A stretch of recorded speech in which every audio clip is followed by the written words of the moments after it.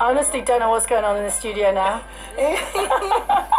uh, that's a beautiful South and Rotterdam. It's 90, 90 minutes to four, and my final guests today have completely taken over. Hello. Hiya. Hiya. how's it It's uh, perfect blue sky in the studio. We have Pina and we have uh, Jane as well. Uh, welcome back. Thank you. Thank Lovely you for to have you us. back. Oh, you're very welcome indeed. Um, we haven't actually worked out how this is going to sound, have we? We haven't, we haven't had a sound check or anything professional like that, have we? no, but that, that's a part of the rock and roll lifestyle, you know. Yeah. you just shoot from the hip, and you know, you live, you live a little bit on edge, you know. Yeah, I, I'm little very much crazy, yeah. I'm very much living on edge. Yeah, Um, we thought it was gonna suit you. Yeah, however, uh, Jane has brought in chocolate, which was the most important thing to actually exchange that rather than to do any sound checks. She's also brought in a tambourine for me to play. How about that? I'm going to be part of the band. Yeah. Um, Perfect. yeah. Now they just shake a little side to side and just. she's actually been teaching me. How's Yeah. that? How's that? Yeah, it's very light and delicate, Too- so it's um, yeah. That's Is that too much? No, you'll be Is- fine is that once all you hit the rhythm. Right, great. Yeah. It's like a little rattlesnake. Okay. now, now, first of all, uh, where have you been since I last saw you? Where have you been? Uh, I've been all, all over the place. I think the last place has been Finland. Oh, Finland. And that's where we picked up the chocolate. Oh, was it? Yeah, the Now, very- Finnish chocolate. What's that? like? It's very good. Is it? Yeah, it's very good. I don't know why. They have a, they have a talent for it. Yeah, something, and uh, uh, it's a little bit of a, a secret because until you, and yeah, until you try it, it was actually yeah the Finns that gave me a present, and then I just bought a ton of them to. But we've been scoffing most of it before we get here. Yeah. so Now, now, Finland is somewhere I seem to think where they have lovely like thermal baths and everything. They. Did you try that? Oh, many times. I've done it many Did times. Did you? Yeah, yeah, it's Oh, but you're from Sweden, Yeah. so so you kind of do that anyway, don't you? We do it. Yeah, we kind of adopted that thing anyway. Everything Finland has that's good, we steal, and everything that's bad, we just throw back over. You know? Oh, but hang on. just I- round the block. I, I got tricked because I'm from Australia and they told me that it was a nice warm um, lake to go and uh, Yeah. climb into after a sauna. No, it just it just basically thawed out from the ice. And then I Oh. just jumped slam in and it was like seven seconds and Yeah, they do, they do ice bath. They, they, Yeah, ice they, bath. they cut up a hole, hole in the ice kind of thing We just slide yourself down and then you jump into this sauna that's like, I don't know, it's Yeah, 50 degrees yeah. or whatever, you know. Yeah. Yeah. Wow. I, I mean, um, I'm a swimmer. I like swimming, but I have no. I'm, I'm I'm a complete wuss. Like I like warm water, so something like that would probably kill me. I mean, I mean, if you if you would do the same thing to a glass bottle, it would probably break. You know what I mean? Yeah. oh, okay. Incredible. the what it does for your circulation because when you get out then you're just completely tingling all over after being really really hot then this ice cold uh, Yeah. yeah, It's that's, good, it's yeah. good mentally because if you survive it, it's Yeah. like you've got a second chance. You know. I love it. if you survive it, Everything is gonna taste better, you know, like the morning croissant or whatever. Everything's gonna be fantastic. and then your heart stops. Uh, now, are you going to play um, your fabulous new single, Astronaut? Are you going to do that? no, no, no. I love that song. That is Oh, very good you. indeed. Thank you. And I'm going to be on thank there. you. Yeah, I'm going to you're be gonna on be on astronaut yeah Woo! Perfect. Uh, now, now, um, so you've been travelling lots and lots. You've just come back from Finland, and are you just constantly on the move? Uh, not always, but uh, we both work in. We got other other projects and stuff that we do. But as far as Perfect Blue Sky, this is where we sort of meet here, and then Yeah. we go on the road. We sort of consolidate and write songs, and still writing. Um, but basically, it's been just the last six months, just putting it together, prepared for the tour, and we're, yeah. So And it's happening. yeah, yeah, yeah, we're loving it, and this is this is our um, this is our seed. This is our seeded country. So this is where we're yeah we want to be. Fabulous. Okay, uh, so you're going to play live for us on the show. You'll love this. It's called Astronaut. I don't know what it's going to sound like though, because we haven't done a soundtrack. Um, but let's You'll do see. fine. Right. let's see. Here we go. Here we go. When you're ready.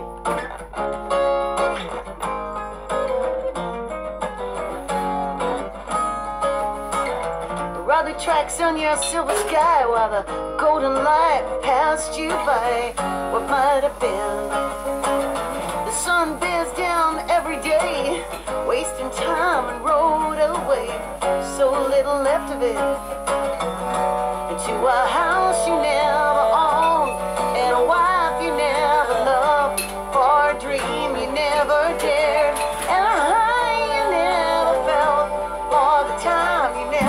Go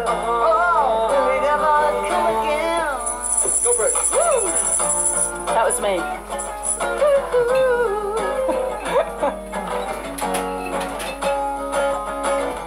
Everyone is someone else and everywhere is never there.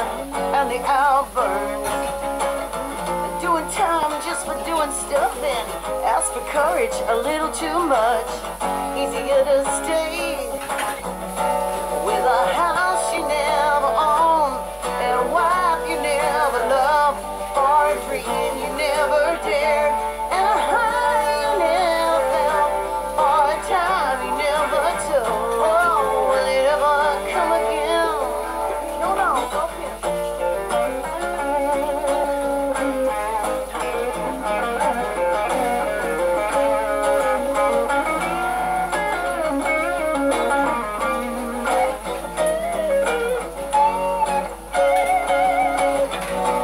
To a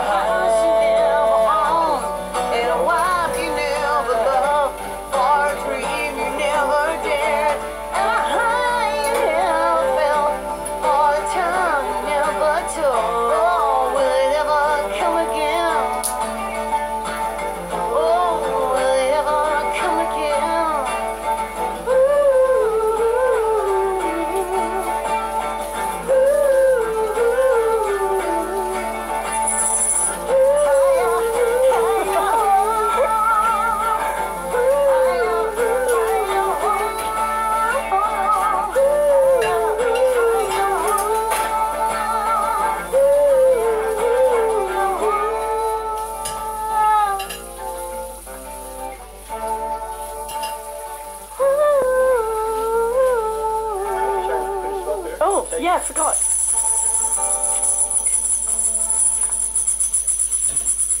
Not too loud. Ah, brilliant. Thank you.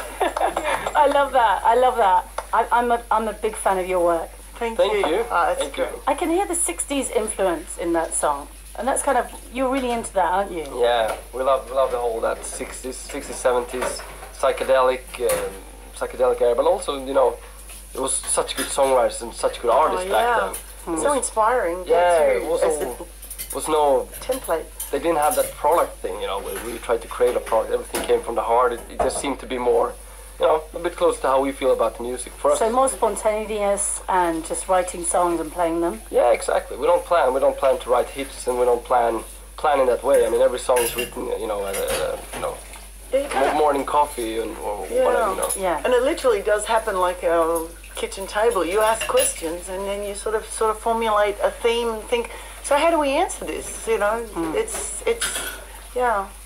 Now, Jane, um, Yeah.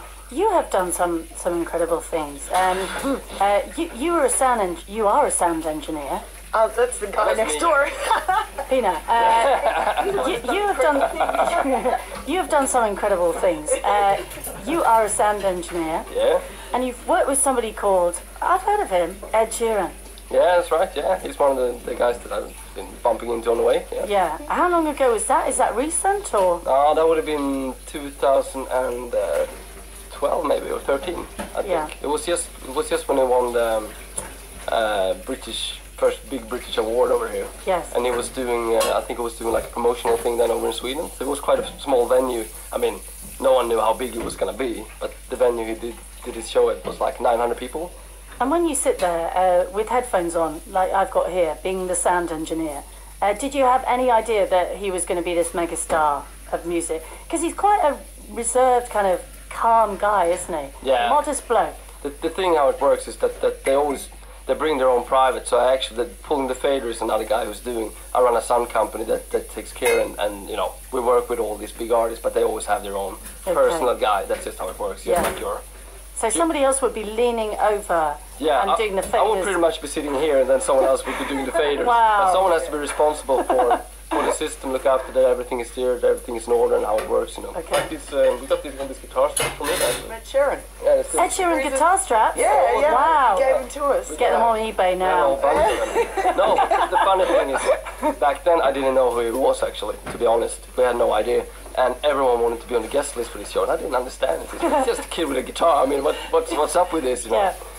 And then he was just, he was amazing at, at capturing the audience. He was just fantastic, you know. And all these kids were screaming, and you know, and I had a lot of, um, uh, I don't know if you know about Neneh Cherry and that whole family. They, it's Eagle-Eye Cherry's sister, and Yeah. that, that whole family was there, and they were standing behind me in the mixing booth because they wanted to see this guy. you Wow. know.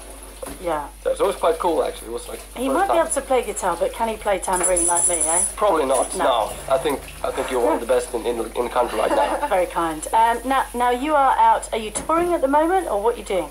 Yes, we're making our premiere uh, shows throughout the UK, so we've got about seven shows altogether. Why are you not coming to our part of the world properly? Apart from being here, obviously. Well, actually, we've got a little little spot after this Yeah. at the Oh, have? Hobgoblin Yeah. Music. Yeah, we're gonna do one store. at the music yeah. store, yeah. We're going to be there at five o'clock tonight. Do you know, I love that place. It's Oh, a beautiful lovely. place. Have you been there already? No, No, we're, we're on the way. You're, you're gonna have to move some of the um, guitars out the way. Yeah, all right. Tiny. Oh, perfect. We'll have that. Lovely, that's Yeah. perfect. Yeah, well, that, So- that's where we're heading to next. Yeah, so you're there at five? Yeah, I think it's five, isn't it? Okay. Yeah. Yeah. Yes.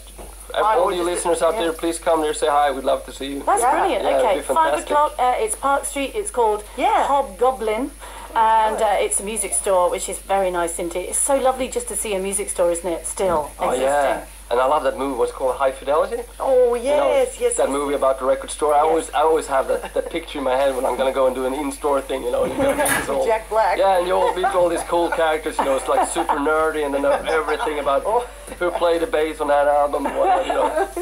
It'll be exactly like that. Yeah, oh, you know I that. exactly how you imagined it. Oh, perfect. Oh, I can't wait. Uh, lovely to see you guys. Thank you so much for coming on. And astronaut, you see, you don't think you're very commercial. I think that is a commercial single. That. I love it. I love Oh, it. It's great. I think you. it's great. Uh, thank you so much for coming on. That is perfect blue sky. You can see them this afternoon, five o'clock. Hobgoblin. Really struggling to say that. Park Street in Bristol. They're going to be there. Thank you, guys. Thank you. Thanks for having us.